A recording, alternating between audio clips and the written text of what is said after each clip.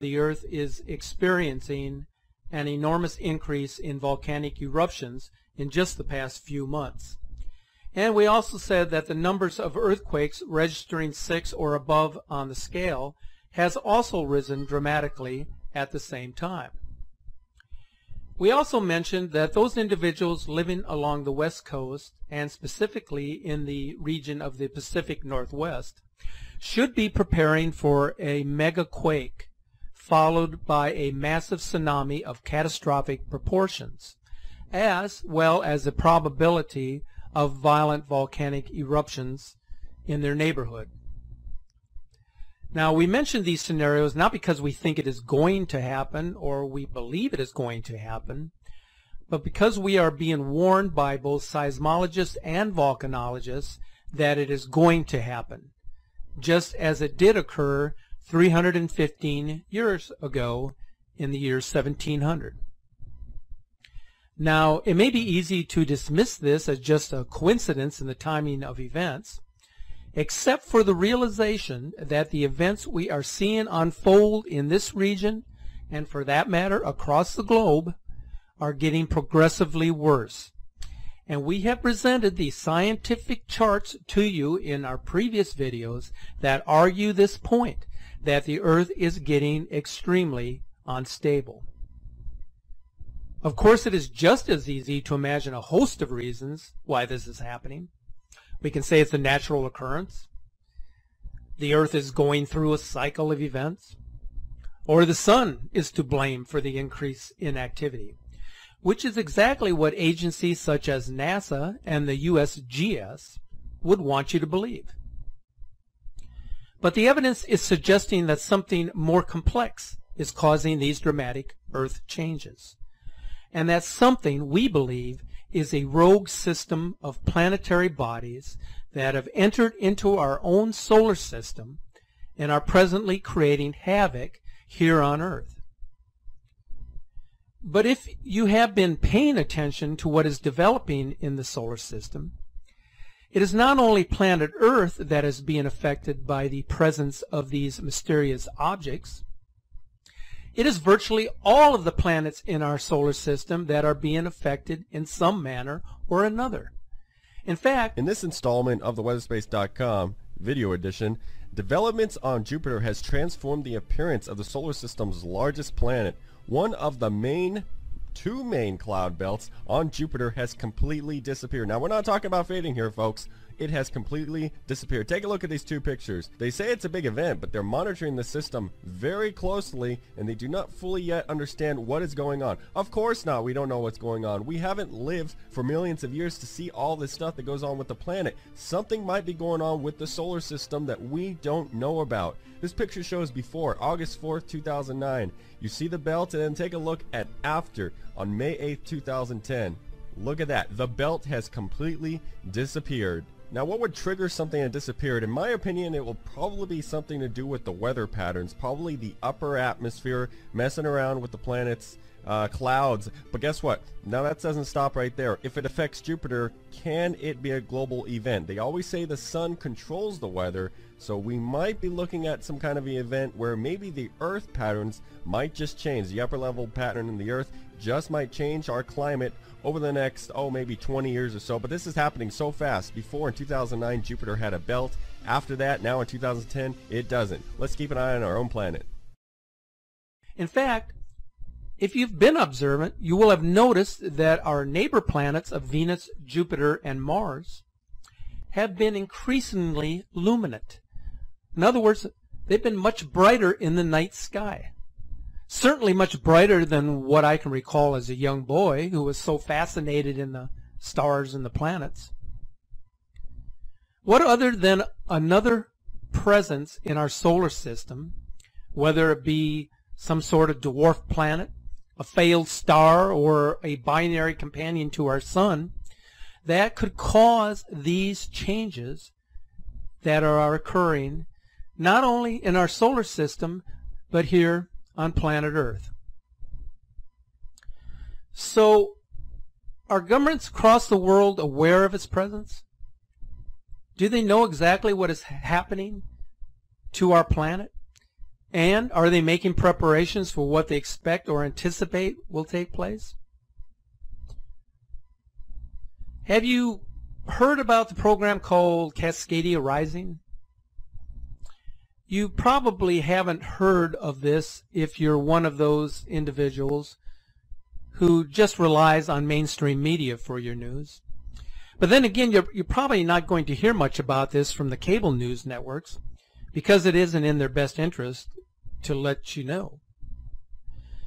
Cascadia Rising is a large-scale disaster preparedness exercise that will be conducted by the government agency FEMA starting next week between June 7th and the 10th in the Pacific Northwest. So, of course, the question arises as to why an exercise of such significance is about to take place by a federal agency. Certainly an exercise that's going to be very expensive and time consuming. Why conduct this if that particular agency wasn't concerned or even knew that something catastrophic or life-threatening was about to happen? Now, we are being told, according to the report, that this preparedness exercise will be conducted in such a way as to simulate a 9.0 magnitude quake along the Cascadia subduction zone, which quake would be followed by a tsunami that would create waves more than 50 feet in height. Okay, so think about that. 50 feet, that's approximately the height of a five-story building, which by any means would be absolutely devastating to any type of structure or edifice which stands in its way. The drill will bring together local and state emergency responders, FEMA, and a number of military organizations and government first responders. The drill comes as a number of top scientists are warning the Cascadia subduction zone is a disaster waiting to happen. While most people have heard of the San Andreas fault line in California, very little attention has been given to the Cascadia subduction zone. But when compared to the San Andreas, the uh, Cascadia subduction zone is a much larger uh, threat and a more scarier threat than is the San Andreas fault. The Cascadia Rising Preparedness Drill will test plans that have been put together over the last couple of years. Plans that expects in the neighborhood, if not more than, 14,000 deaths, 30,000 injuries, and the complete devastation of the Pacific Northwest coast. According to planners, the quake could devastate the region for decades and could displace a million people from northern California to southern Canada. So, how bad could it get? Well, over 7 million people throughout the region could be affected by the Cascadia subduction zone. When the quake hits, the force is expected to cause liquefaction across large areas of the porous region. And in areas that aren't liquefied, the force of the quake could cause huge landslides, devastating destruction to thousands of bridges and buildings, and could cause as many as 30,000 avalanches in Seattle alone. Now, the following model, which we're going to show to you here in just a second, was created by the NWS Pacific Tsunami Warning Center, also referred to as PTWC. It's based off of modeling from an earthquake that hit the area on January the 27th of the year 1700, approximately 315 years ago, which caused a massive tsunami that actually struck the coast of Japan. So traveled for thousands of miles across the Pacific Ocean. Now officials are planning for a disaster unlike anything we've ever seen. The response will include the deployment of civilian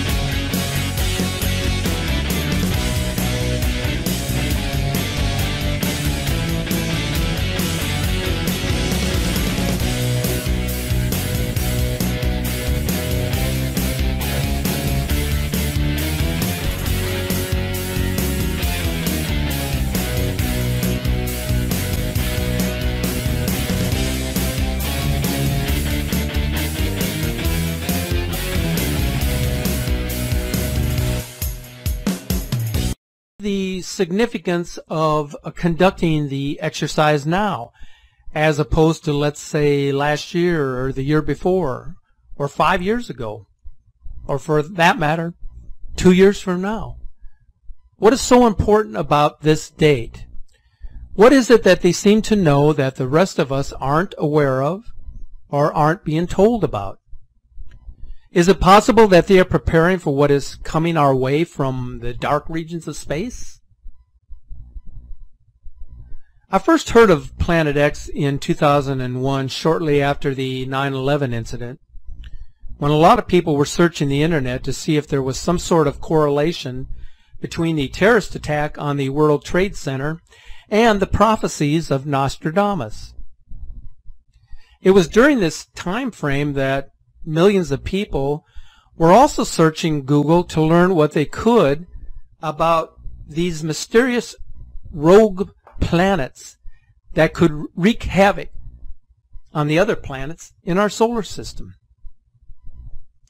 Now, the likelihood of such an event occurring in our lifetime had for a long time been considered nothing more than a wild conspiracy theory. But now people were actually becoming genuinely concerned about its existence and about what effect it would have on our planet. In 2009, I interviewed uh, a gentleman, J.R. Moore, who has a, a national radio show. In the interview, he indicated that he had spoken with some retired naval brass who were moving to the Ozarks for safety. So you say, why the Ozarks? Well, for one thing, the region is more than 1,000 feet above sea level, and thus it would be a safe location from rising waters which is something that is expected to occur if we have a flyby of the Planet X system. Now, that interview was published um, on our YouTube playlist, and it's published under the title Nibiru Truth and the Global Warming Cover-Up. And I would encourage you to, to listen to it in its entirety, as it does tell us a very interesting story of what preparations the government is making or has made to get ready for the passage of the Planet X system. X system. Now Russia believes that this system exists and they are presently building shelters in Moscow and throughout the country in preparation for its flyby. In the United States, preparations have been underway for many years in anticipation of the passage of the Planet X system. One of these massive underground facilities is believed to be located beneath the Denver International Airport, but it is off limits to both the public and the media as a top secret facility. There has also been considerable controversy revolving around the deaths or the mysterious disappearances of individuals in the scientific community who have become whistleblowers with regard to Planet X or a dwarf star in our solar system. Some of you may already know the story behind Dr. Robert Harrington, the chief astronomer of the U.S. Naval Observatory, who, did, who died before he could publicize the fact that Planet X is approaching our solar system. Many feel his death is part of a cover-up, one in which government agencies quickly moved to conceal the most earth-shaking discovery in history. So we are certain that the studies that Harrington was conducting in his quest to locate Planet X are very real. But whether he actually died from cancer or was silenced by the elite is still a question worth investigating today. Now on the flip side of the coin, two reports were recently published by a new site called someonesbones.com. One of those reports states that in 2010, an ominous YouTube video posted by a user calling himself Nibiru Shock provided the world with the first substantiated images of the Nibiru system. These images, which are being shown here now, were reportedly substantiated by Marshall Masters, who is a former science features editor for CNN News and who is now a Planet X researcher who has a website which is yowusa.com. That's Y-O-W USA.com.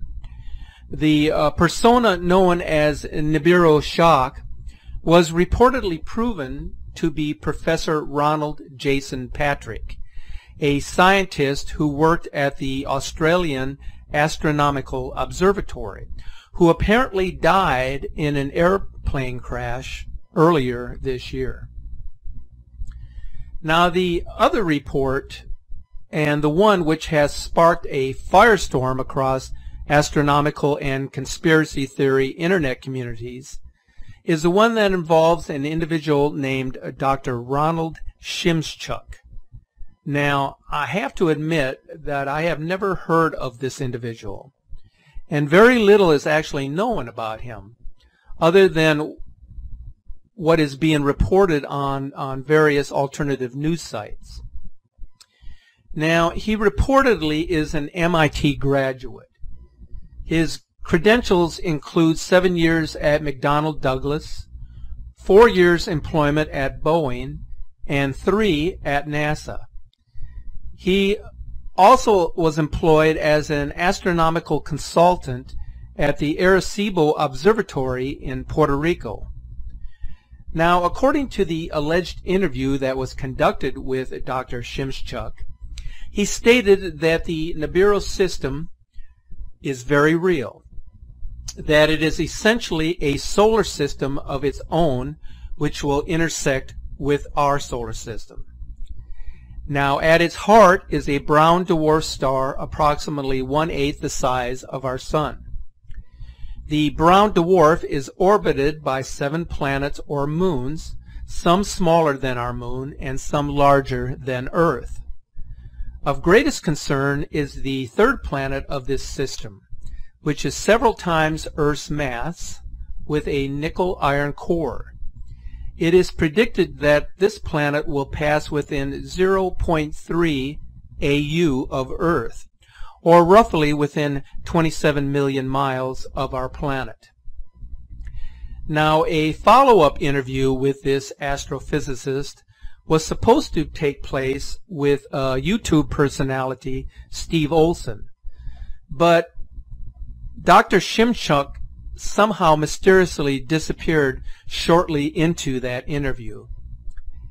Now, we have been able to locate a website that has recently appeared on the internet that details who this individual is and contains a validated photograph of Nibiru, which is said to be the first substantiated image taken in the northern hemisphere, which uh, we are showing to you here now.